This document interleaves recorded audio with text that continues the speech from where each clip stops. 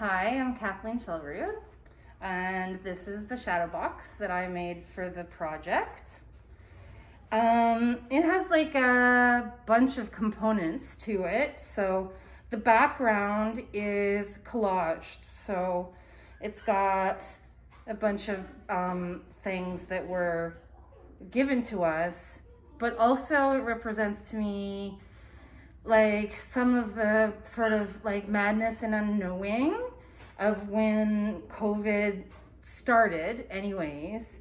Um, like it felt a little frantic to be honest. We didn't know what information was true and not true. So that's the background. And then I used these, um, these little cubes that have letters. So the top says the tipping point, which was a point when it became like there just became so much information and so much fear um, that it felt almost like uh, like uncontrollable. And then of course, like it's hard even for me to discuss. Um, but we had the deaths in Winnipeg, the like cop shootings of like young Aboriginal people. And then we had what happened in the States.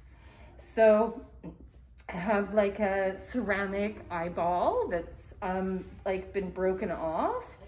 Um, so the color matters, but also um, like I felt like the edges mattered of that also. So um, to be like, like we're not, not looking at this.